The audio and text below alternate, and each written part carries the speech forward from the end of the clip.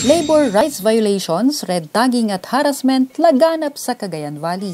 Transparency ng rehabilitasyon ng Baguio Public Market kinwestiyon. Kasong murder laban sa mga aktivista sa Hilagang Luzon ipinababasura.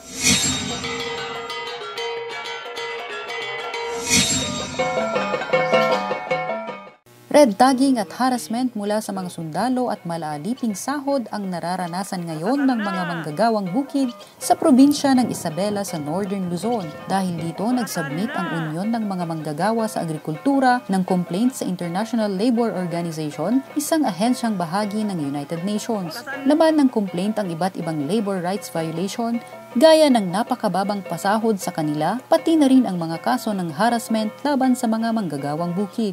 Dagdag pahirap din ang nakikitang epekto ng mga manggagawang bukid sa balak ng National Economic Development Authority o NEDA na liberalization ng sugar industry sa bansa na magre-resulta ng malawakang tanggalan sa mga sugar mill.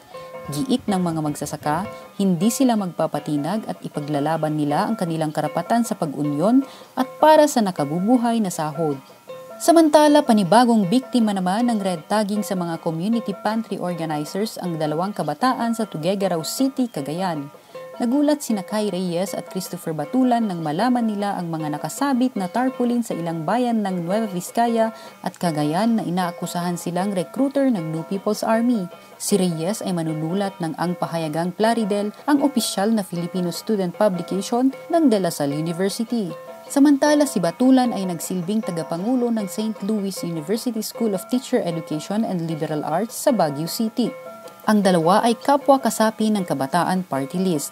Sila ay nanguna sa pagtatayo ng tulong-sulong community pantry in Tuguegarao City at nakibahagi sa relief and rehabilitation response nang makaranas ng matinding pagbaha ang probinsya dahil sa bagyong Ulysses noong November 2020. Naging questionable ang transparency sa terms of reference negotiation sa pagitan ng Baguio City Government at SM Prime Holdings Incorporated kaugnay ng rehabilitasyon ng Baguio Public Market. Sa unang negosasyon noong June 9, hindi pinayagan ng Partner for the People's Election Committee ang pagsama sa mga pribadong entidad sa negosasyon na ikinadismaya ng mga kinatawa ng sektor.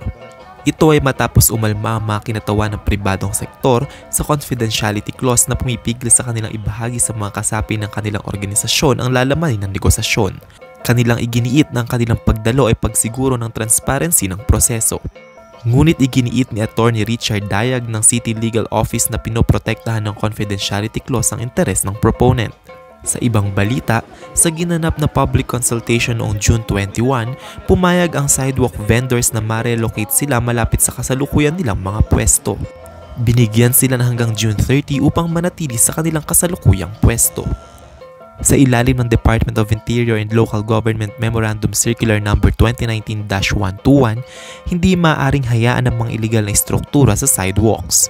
Kabilang dito ang mga newspaper stand at watch repair shops na matatagpuan sa lungsod ng Baguio.